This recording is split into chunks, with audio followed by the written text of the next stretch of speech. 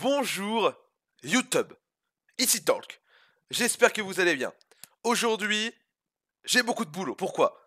Parce que la semaine prochaine, on fait un bootcamp à Tonon-les-Bains en Haute-Savoie chez moi avec la Team Hearthstone pour se préparer pour la fin du ladder mais aussi pour la DreamHack Suède qui arrive mi-juin. C'est bientôt, c'est bientôt, c'est bientôt. Et du coup, en fait, là-bas, il y a une connexion de merde. Donc, on va streamer de là-bas avec une connexion nulle. Ça, ça passe. Mais pour upload des vidéos, c'est la merde. Du coup, je vais faire des vidéos d'avance. Donc, n'hésitez pas à me dire ce que vous voudriez voir un petit peu comme deck. Moi j'ai envie de faire des decks prêtres, mais là j'avais la flemme pour celle-là, parce que voilà, il faut réfléchir, donc c'est relou. Et voilà, donc ça, ça va être trop bien. Bon, la Haute-Savoie, c'est paumé, je sais, enfin, c'est une catastrophe. Aujourd'hui, vidéo spéciale, on va jouer mes trois decks. Alors, j'ai la crève de ouf, je parle du nez. Euh, mais voilà, mais je suis toujours malade, j'ai envie de dire, je suis toujours un problème, vous savez, enfin, c'est une catastrophe. On appelle Calimé Talk, euh, référence que les 2000 ne comprendront pas, mais c'est pas grave. Oh, j'ai reçu ma collecteur d'Overwatch. Est-ce que je fais un unboxing? Oui. Elle coûte 140 euros, donc je fais un unboxing, faut la rentabiliser. Du coup, euh, je disais, oui, donc on va faire mes trois decks préférés du moment. Mais avant, je vous rappelle rapidement que c'est on est vendredi, vous voyez quand je tourne cette vidéo, voilà, donc elle va sortir vendredi, donc c'est formidable. C'est le dernier jour où vous pouvez commander, enfin, vous commandez, non pas du tout, où vous pouvez réserver vos places pour venir ce week-end nous voir pour la Honor League. Et en plus, Regardez ce que Blizzard nous a envoyé. Ah, ah, ah. On a des goodies à faire gagner pour le public. Voilà. Alors, vous allez dire, tant que tu l'outils, tu l'outils. Bah oui, bah ça va être bien ce week-end. C'est un peu la, grande fête d'heure. C'est tous les mois, de toute façon, maintenant, la Honor League. Si vous pouvez, si vous pouvez pas venir ce mois-ci, vous viendrez le mois prochain. En tout cas, toujours pareil dans la description. Hein. place pour le samedi, place pour le dimanche. C'est à Levallois-Perret. Alors, bon, si vous venez, partez du principe que j'ai déjà volé un des coussins Hearthstone et que euh, le vert Leroy Jenkins, globalement, il est pour moi. Et je prends un tapis de souris, voilà. Mais le reste, vous pouvez venir. On fera gagner ça dans le public. Euh, on fera des petits concours, hein, genre imiter le Murloc, enfin voilà, des trucs de canard. Allez, mes trois decks préférés, le premier. Mon deck préféré du moment. Enfin, un, c'est pas. C'est un ordre non exhaustif, voilà. C'est le chasseur Yoxaron. Vous savez que je suis très très fan du Yoxaron en ce moment. Il y a encore des gens qui disent Mais Talk et tout avait dit que c'était une semaine Yoxaron. Enfin bon, ça c'était la semaine dernière hein, quand même, hein, donc euh, cassez pas les couilles. Voilà, donc ça c'est un de mes decks préférés du moment. Il y aura un deck chasseur, un deck druide et un deck guerrier. Et je suis rang 2. Vous allez me dire, comment ça se fait que t'es pas déjà légende? C'est une stratégie. Vous savez que c'est extrêmement important de réussir à faire top 100 euh, parce que je suis en train de tryhard évidemment pour me qualifier à la BlizzCon, c'est primordial pour moi, vous savez. De lâcher les chiens dans la main, c'est pas terrible. Hein. Euh, et donc là, j'ai une stratégie de passer les gens en fin de saison, et tac, on va voler le top, et c'est la folie on, va kidnapper le top 100. C'est euh, le viol total. Bon, je vais me moucher parce que je suis malade.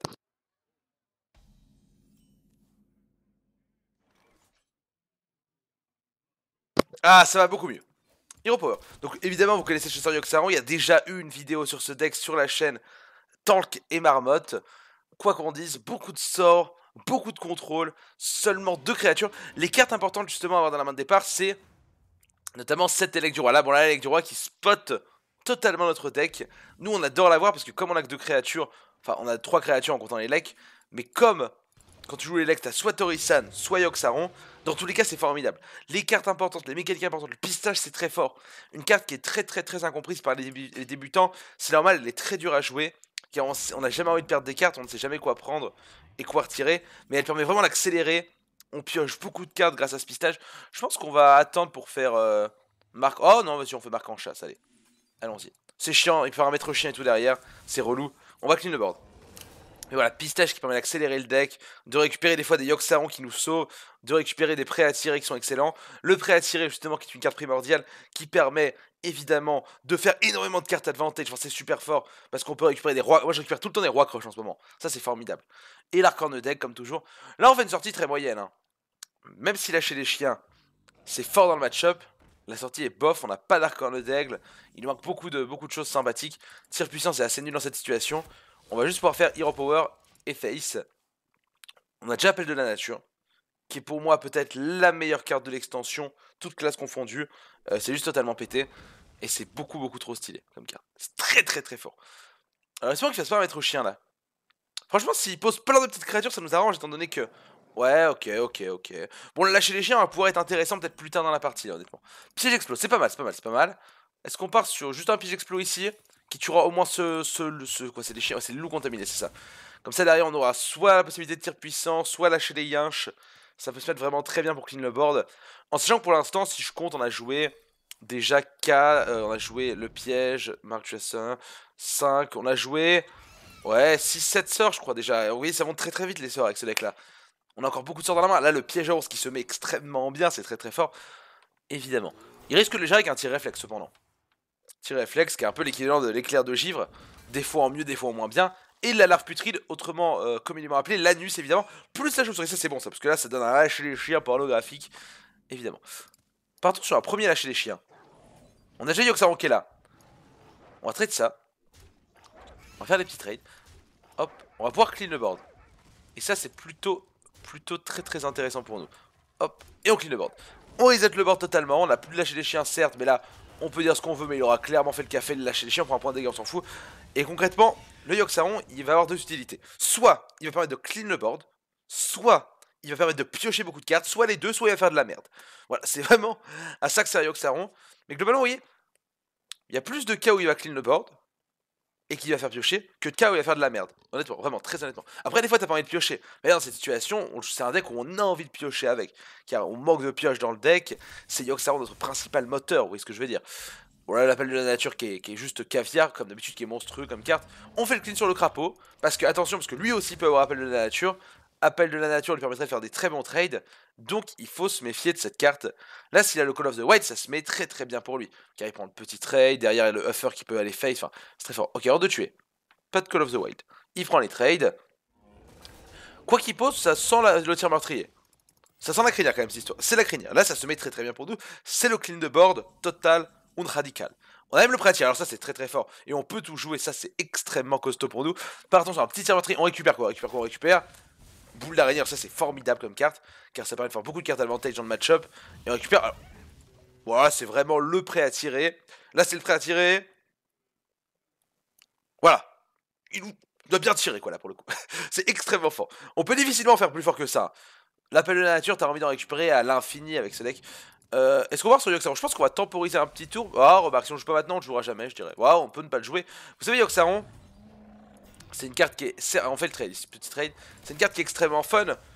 Euh, certes, on adore la jouer, mais il faut pas non plus s'handicaper quand on veut tryhard. Là, on veut monter les gens, donc on va pas euh, le jouer s'il ne sert à rien. Des fois, on peut gagner sans Yoxaron. Yoxaron, en fait, c'est pas le genre de carte qui est forte quand t'as gagné. C'est le genre de carte qui est forte quand t'es en train de perdre la game. Elle te fait revenir. Vous voyez très bien ce que je veux dire, quoi qu'il arrive. Après, on est sur YouTube, vous allez me dire talk et tout le fun, tout ça, tout ça. C'est vrai. Euh, ici, partons sur. Yoxaro C'était de la merde. Alors, c'était le pire play. Alors, hors de tuer. Ok, ça commence mal. Alors, évidemment, tape jamais avant quand on fait Yoxaron, sinon c'est pas drôle. Là-dessus. C'est bien, ça se met bien, on pioche. Faut jamais taper avant quand on fait Yoxaron, c'est pas drôle. Préparation, c'est fort ça. Humilité. Ok, Osef. Bon, l'ombre douleur, ça tue ça. Du moins que ça laisse Yoxaron, c'est pas mal, franchement. Moi, j'ai envie de piocher. J'ai envie de piocher. On a déjà pioché une carte. Météore, ok. Ok, très bien. Jusqu'à là, tout va bien. Non, ok, c'est de la merde. Bon, honnêtement, c'était pas fameux. Mais on, le savait à l'avance un petit peu concrètement. Ça, c'est bien, ça. Petit buffer en plus. Pas de buffer, mais c'est bien. En chiasse, impeccable. Ouais. Double vue, ça c'est fort, très fort. Franchement, il, on a pioché pas mal, c'est pas si mal, c'est pas si mal. Et eh ben il s'est mis bien, moi je dis, voilà. Voilà, tout simplement. Alors là, vous allez me dire, Talk, t'as fait un petit misplay, c'est vrai, vous avez raison. J'avais un sort gratuit, j'aurais pu pistage. Mais est-ce que j'ai envie de pistage? Pas vraiment. Parce que là, j'ai plus envie de perdre de cartes. J'avais pas envie de tirer réflexe parce que je préfère garder pour clean le board. Et dans tous les cas, la pistache, à ce moment de la partie, plus vraiment d'intérêt de perdre de cartes. T'as gagné la game notamment, normalement. Tu le joues que s'il y a, à un moment donné, une embrouille et que t'as besoin de récupérer une carte. On sait jamais si je chope un roi crush et que j'avais pas eu marque du chasseur, ça aurait pu être intéressant. Ok. Petit trade. On est bon. Là, de toute façon. Tellement bien dans la game. Il n'y a plus vraiment de soucis à se faire. Ok, en, chia, en chiasse qui revient. Là, par exemple, si je peux récupérer après à tirer, c'est vraiment très fort. Ok, on récupère l'autre pistage, on prend quand même le tir meurtrier, je dirais. Tir meurtrier, Torisan, enfin voilà. Là, il a plus qu'à quitter la game bien gentiment. Largement gagné, voilà. Si on avait voulu trahir, d'ailleurs, on n'aurait pas joué euh, Yorksaron. Mais là, c'est vrai qu'on était sur YouTube. Bon, c'est le, show must euh, go on, hein, comme, dit, euh, comme dit Freddy, bien sûr. Donc, on est très content. Donc, deck chasseur, pour moi, c'est le meilleur deck Yorksaron actuel. C'est vraiment extrêmement fort. C'est très fort. Ok, bon. Il recule pour mieux sauter, enfin il recule pour mieux se faire sauter plutôt, et c'est gagné. Deuxième deck, c'est le deck qu'on a présenté il y a très peu de temps sur Shintor Gamer Mode, c'est pour moi le meilleur deck guerrier actuellement, c'est le deck guerrier tempo dragon. C'est celui-là. C'est le deck guerrier dragon, très agréable à jouer parce que particulièrement no brain, alors c'est... tu roules ta tête sur le clavier, et tu poses tes cartes, c'est très très bon comme deck, très très costaud, très très fort, euh, moi je vous le conseille, vous allez vraiment l'apprécier. C'est un deck bien débile comme on les aime et qui fait euh, souvent la différence. On est face à un druide, donc druide normalement on lui roule dessus avec nos execs qui prennent le contrôle du board et tout. Deux berserkers écumants, on aime bien avoir la pièce avec ce deck je trouve. Quand tu as deux berserkers, en tout cas t'aimes toujours avoir la pièce. On mulligan, on mulligan, on garde évidemment double berserk pour faire pièce berserker écumant. On a des bons T2 avec ce deck, c'est dommage de ne pas avoir T2. On aurait pu garder qu'un seul berserker, c'est vrai. Parce qu'on aurait pu avoir. Il y, a, quand même Dragon Féerique, il y a également les deux championnes d'Alexstrasza, donc voilà. Je vous invite à, vous référer directement à la vidéo tutoriel de ce deck hein, qui, est, sur la chaîne il y, a, un jour ou deux, enfin, peine, seulement. Donc il y, a de quoi faire, hein, très clairement. D'ailleurs, on va bientôt reprendre les, decks locaux, hein, maintenant qu'on a eu le temps de s'adapter un petit peu à la metagame. Ça, ça me paraît... Euh, ça me paraît plutôt, plutôt nécessaire parce que vous me demandez souvent des decks low cost. C'est Marmotte le spécialiste. Marmotte il va faire des decks low cost. On a déjà montré un ou deux. Il prépare ça avec attention et amour pour vous. Sort Finlay, donc là pouvoir du démo, pouvoir du mage qui est certainement un des meilleurs en, en, en guerrier. Pouvoir du démo. Comme ça, si on manque de pioches, parce que c'est vrai que ce deck, il bah, n'y a pas d'acolyte, pas de battle rage, ça peut manquer de pioches parfois. 4 euh, euh, trucs de Setoun là? Ok, enseignant de pourpre. Ça, ça peut être la merde ça. Hein. Ça peut être la merde cependant. Ici, je pense que le play, c'est de faire pièce. Berserker, on tape là-dedans. Comme ça, si jamais il veut faire le trade, au moins j'ai le trade. Euh, ça peut être très embêtant parce qu'il peut faire des puissances du faux. Enfin voilà. Le, match-up peut être vraiment très compliqué. Le match-up, s'il a de quoi faire, ça peut être très compliqué. Est-ce que ça a été créé par Idole du Corbeau? Ça, pas du tout. Idole du Corbeau qui a rien créé pour l'instant. Il a pas la possibilité de faire balayage, c'est moi qui avais la pièce. S'il fait rien, j'ai gagné. S'il fait un pour un, je suis vraiment très bien. Enfin, s'il fait racine vivante plus trade, je suis vraiment extrêmement bien dans la partie. Ça, c'est ce qu'il faut se dire, ça. Alors. Il a sûrement pas peur de l'exec, sinon il se dit que je l'aurais déjà fait. Il a raison de pas avoir peur de l'exec. Mais là, si j'avais si et que j'ai exec, c'est fini aussi. On lui a l'impression qu'un petit arbon joue. un petit, un petit, un petit. Et t'adore, n'est-ce pas? Et t'adore quand j'étais à la première de Warcraft, je croisais des mecs, euh, enfin des viewers qui étaient aussi à la première, et qui me, comme moi, ils me faisaient Étonnant Moi je me mais oui, étonnant comme film Bon. Très bien. Alors si la FK, on considérera ça comme une victoire, bien sûr. Voilà, c'est une situation qui est extrêmement... Euh, c'est ce qu'on ce cherche, on est vraiment pas mal là, pour le coup. On aurait bien aimé pouvoir euh, démonter ça. Malheureusement là c'est pas possible pour le coup. Donc partons sur le deuxième Berserker. Petit trade. Là en revanche, en cas de balayage, c'est relou. Mais concrètement, il l'a mis en mode 5-2, je pense qu'il a raison. Il se dit, il se dit j'ai balayage, enfin ça sent le balayage cette histoire. Là, le balayage se met assez mal pour nous. En tous les cas, il se mettait mal, un peu avant ce que je traînais, il faisait balayage, il faisait un clip de board, il avait encore une créature. Vaut mieux tuer la créature qui fait les tokens. Ça, on pourra la démonter euh, tôt ou tard, évidemment, cette truitesse de la flamme. Après, encore une fois, s'il n'a pas de balayage, ça le force à Hero Power, à trade ça, à trade ça derrière. Moi, j'ai mon corps con, ça se met bien.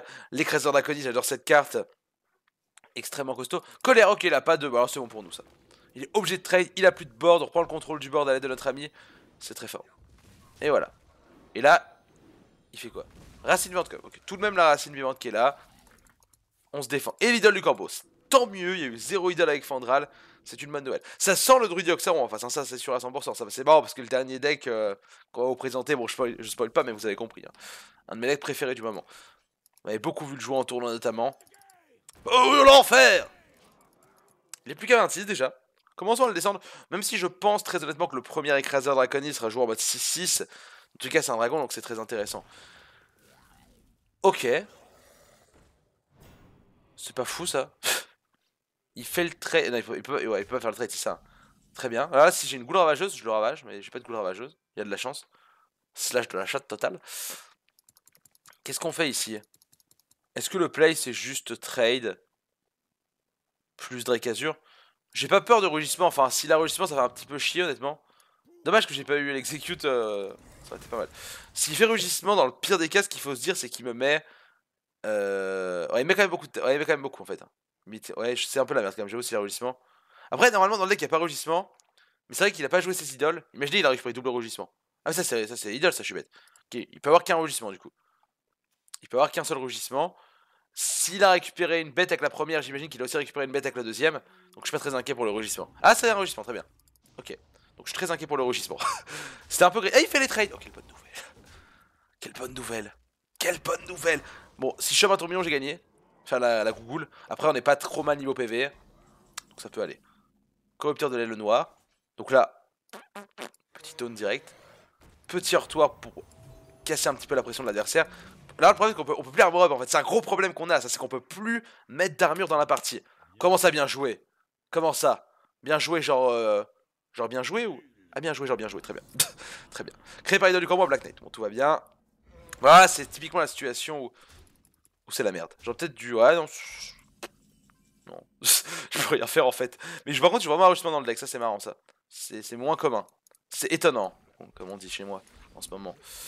Euh, on n'a pas grand chose qui temporise là. C'est vrai que le fait d'avoir enlevé l'armor up, c'est quand même assez rédhibitoire dans ce genre de situation. Et c'est vrai que moi, comme je joue pas trop de rugissement dans mes decks druides, je m'attends pas à en voir. Mais c'est vrai qu'il y a encore quelques irréductibles qui veulent pas lâcher cette combo. J'entends un bruit, mais en fait, c'est ma chaise qui grince. Je vois qu'est-ce que c'est. qu'est-ce qui se passe? Alors là, par contre, c'est ok. C'est trop bizarre ce qu'il a fait parce que du coup, je peux prendre le trade avec ma 2 C'est très mal joué, je trouve. Hein. C'est vraiment très, c'est vraiment très très mal joué ce qu'il a fait, je trouve. Donc là, on fait le trade. Fait le trade. Est-ce qu'on fait le trade ici? Hmm, Je pense que oui. Ça, ça vite si jamais il chope un, buff de créature. Là, je suis certes à 7. Mais maintenant, il est top déco dépendant. Il est top déco dépendant. J'ai rien qui donne de l'armure, mais si je chope un autre taunt, ça pourrait être très fort. Faut choper le deuxième gardien du crépuscule. Je pense qu'on va live tab au prochain tour. Hein. On peut vite mourir sur balayage, ouais, c'est le problème. Mais je pense que notre solution pour gagner, c'est à moins de choper gros match ou un truc fort comme ça, quoi. Genre. La goule qui arrive un peu tard, quand même, hein, il faut le dire. Je pense qu'on joue pas au tour de balayage. Il en a, pas fait, faut dire. Hein. Est-ce que je peux avoir l'étal en deux tours sans live tab Alors 6. Si je mets la goule, ça fait 9, ça fait 12. Oh, il y a moyen de choper l'étal en deux tours. Hein. Sur le top deck du prochain tour, il y a moyen d'avoir l'étal, hein, clairement. Là, pour l'instant, il a pas l'étal sur balayage, ni sur druide de la griffe. Là, moi, j'ai 6 et 6, 12. Il peut remonter à 15. Voilà, il va être obligé de balayage face pour m'empêcher de live tap à la limite. S'il l'a en tout cas. Là, fallait pas live tap, chanson. Vraiment. Il y a, y qui est un out, il y a Ragnaros qui est un out. Alors certes, malheureusement, le corrupteur de l'aile noire n'est plus un out. Corcron, c'est un out. Il en reste un. Et là, en plus, si il me met même pas à 4, c'est-à-dire que je peux live tap et avoir 2 draws pour gagner la game. Non, non, la situation est assez correcte. Bah voilà. Toute façon, on n'a même pas besoin de live tap. Voilà, bon, on a chaté, c'est plutôt une bonne nouvelle. Et voilà, une game méritée, hein, enfin pas sûr, mais... Oh putain, il est Black Knight, l'enfoiré, quoi, c'est quand même scandaleux. Il était tellement sûr de gagner. Et eh ben on lui a chié dessus, on l'a dit, non, tu ne gagneras pas. On passera un, je crois. Oh, ça sent le passage légende en stream tout à l'heure, ça. Oh, je vous donne rendez-vous sur la Millennium TV Hearthstone à 16h, là. Ça sent le bon passage légende. Et bah le druide. Et bah le druide, tout simplement. Voilà, le petit druide euh, de type Yoxaro, alors qui est mon deck préféré du moment avec les deux autres. Je sais pas lequel est mon préféré. Je pense que c'est le Hunter quand même. Le Hunter il déchire. Le Hunter, enfin, j'aime bien les decks ça. Après, c'est vrai que le guerrier, tu te sens tellement serein quand tu le joues que c'est quand même plutôt. Euh, plutôt. Agréable, je dirais. Voilà. Très agréable de jouer ce deck là. Ok, alors le deck Yoxaron, comment ça marche? Bah, toujours un petit peu la même chose. Hein. Euh, Fandral, alors j'adore Fandral, alors c'est très fort contre Druid, contre prêtre. On démonte les prêtres, je trouve. On va garder que Fornal parce que c'est une carte incroyable à avoir dans le départ. Si on chope Innervation, c'est fou. Croissance sauvage, c'est fou également. Le feu follet funeste. Bon, alors là, c'est à Fandral sur le board. C'est la Bérésina pour ça. Il mulligan tout d'ailleurs. On l'a vu, il a tout enlevé. Il est pas serein contre le druide. Il sait pas quoi garder. Hein. Au popette. Alors là, c'est la sortie. Si on chope la puissance du fauve, quelle revient la puissance du fauve Puissance du fauve, idole du corbeau. Euh, enfin, tout, on, on peut faire n'importe quoi, ça va être fou. Deuxième croissance sauvage. Ok, c'est pas fou ça. Très honnêtement. On peut choper n'importe quoi. Mais surtout, puissance. En fait, tout ce qui combatte. Idole, puissance du fauve, c'est le mieux. Colère, ça peut fort pour clean le board. On ne rien. Enseignante. Du coup, on va faire juste une enseignante. Ça rien de balancer Fandral sans avoir de follow-up derrière.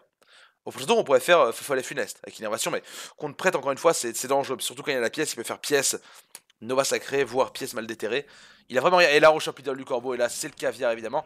On récupère une créature et un sort en plus, on pourrait faire innervation s'il serait bien.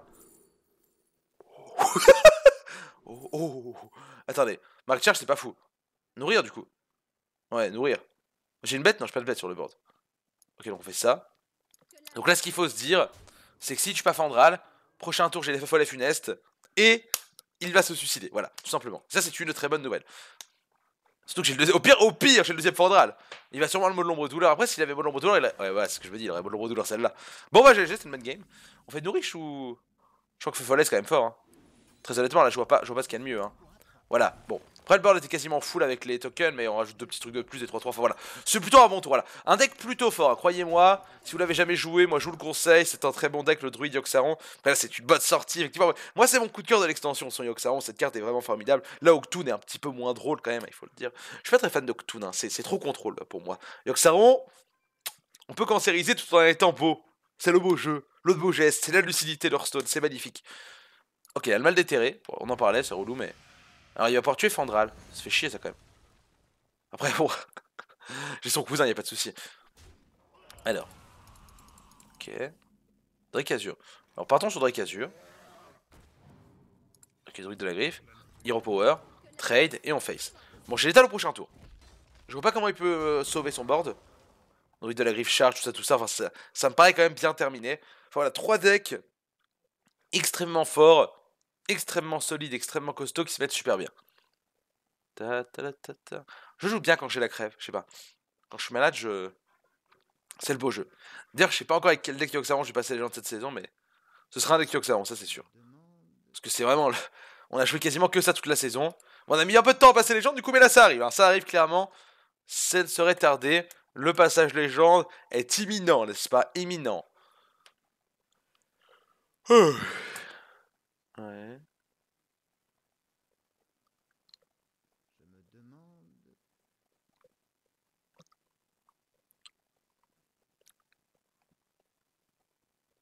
Qu'est-ce qu'il fait Ah oui, du coup. Euh... Ah Formidable Je savais pas quoi vous dire. Ça, m'arrive, hein, j'ai rarement des blancs, mais des fois ça m'arrive, hein, quand le mec robe comme ça. Je m'attendais à le tuer en fait, je m'attendais à ce qu'il quitte concrètement. Bon, allez, il-toi Bon, si tu te heal pas. Ah, très bien, parfait, se heal pas. Allez, vas-y, vas-y, t'as perdu. Ouais, très bien, il a compris, il a compris. Ah non, pardon. Oh putain. Oh, l'insupportabilité d'un homme. Euh. Bon, du coup, balayage face, hein. bah oui, il faut qu'il le board. Du coup, il manque un mana pour avoir le létal. Non, plus. Enfin, un mana et un dégât. Du coup, bah, Fandral. Comme ça, on fera peut-être euh, Druidal Griff Charge Taunt au prochain tour. Ah, si je perds cette game là, je me coupe le nez, hein, franchement. Je me coupe le nez. Euh... Ok. Pyromancien sauvage. Mot de pouvoir bouclier. Ok. Mais encore? Ouais. Ah, c'est quand même relou, hein. Ah, c'est quand même relou, ok. Non, non, mais il résiste. Franchement, j'ai été médisant. Là, il est clairement en train de résister, de prouver qu'il existe.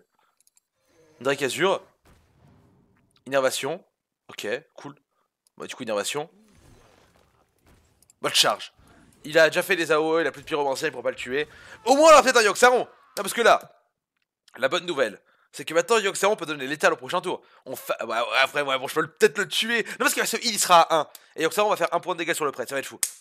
Vous allez voir, ça va être fou. Putain, il est 7 millième légende, putain. Ça en dit long sur ma MMR. sur ma code cachée. Ça en dit long. Étonnant Je faire quand même le étonnant. Hein. Il est beaucoup plus culturel, vous voyez ce que je veux dire, le étonnant? Ouais. Oh putain, le relou. non mais putain, mais dis que ta mère. Attends, je me demande si je joue à cette heure Yoxaron, je me rappelle plus trop. Oh, de toute façon, là, là on face son Yok, de toute façon. Y'a pas de débat. Est-ce qu'on face avant? Ouais, on face parce que le moindre éclair de gifle, tu l'adversaire en fait. Allez Allons-y. C'est de la merde, quoique ça va. Ok. Le chapeau Ok, c'est de la merde. Ça, c'est bien, ça pioche, ça. Ok. Ouais. Ça, c'est formidable, ça. Et en plus, je récupère le chapeau. Incroyable. Pourquoi il m'a pas. Ah, c'est lui qui récupère le chapeau, d'accord, très bien. Je pensais que c'était... Euh, ok, d'accord, c'est lui qui récupère le chapeau. Ah bon? Très bien. Parfait. Je savais pas du tout ça. Bon, bah... C'est une bonne partie, hein. Il était bien, que ça hein. Il a pas donné l'étal. Bon, voilà. il a quand même donné l'étal, finalement. Mes trois decks préférés. N'hésitez pas à partager les vôtres. Rendez-vous ce week-end pour la Honor League. On est bientôt légende. Vidéo du passage légende soon sur la chaîne Talkie Marmotte. Ciao tout le monde, salut